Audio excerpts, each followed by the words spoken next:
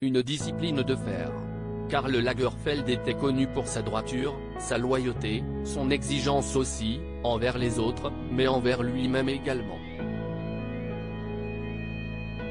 Alors que ce 19 février symbolise les 4 ans de sa disparition, William Middleton, ami et biographe du créateur de génie, sort un ouvrage intitulé Paradise Now HarperCollins, disponible en version originale, et qui délivre les derniers secrets du Kaiser.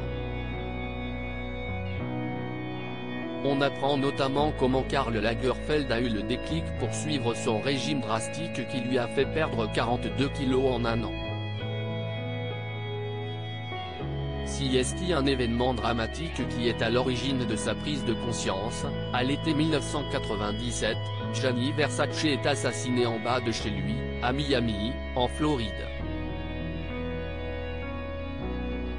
William Middleton raconte que les deux couturiers étaient amis et que Karl a été très touché par sa mort, assistant à ses funérailles à Milan. Quelques semaines plus tard, en ouvrant les pages mode d'un magazine, il aperçoit sa propre photo, ainsi que celle de Valentino, avec ce titre, Les derniers papis de la mode, en référence à la disparition de Versace.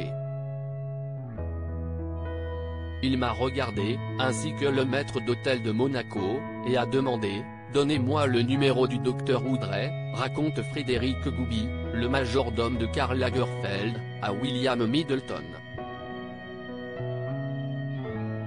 Ce n'est que trois ans plus tard que le couturier entamera son régime avec le docteur Jean-Claude Oudray, mais le choc s'est produit cet été-là. Cara Diane Kruger, Kate Moss rendent hommage à Karl Lagerfeld. Karl Lagerfeld avait une bonne raison de mentir sur son âge. Le styliste avait longtemps entretenu le flou sur sa date de naissance, se rajeunissant souvent de 5 ans, et faisant croire qu'il était né en 1938. Si certains ont pu croire à une coquetterie, supposition qui ne gênait pas le génie de chez Chanel, il ne s'agit pas de la vraie raison, j'avais honte. J'avais honte d'être né la même année que celle qu'avait choisi Hitler pour commencer sa politique antisémite en Allemagne en tuant les Juifs. Et je ne voulais pas avoir quelque lien que ce soit avec cette année-là. William Middleton, révèle enfin la vraie raison du mensonge, ne pas être associé à la naissance du Troisième Reich. Karl Lagerfeld était né en 1933, en Allemagne. Selon l'auteur, cette falsification lui permettait de déplacer son enfance loin des nazis.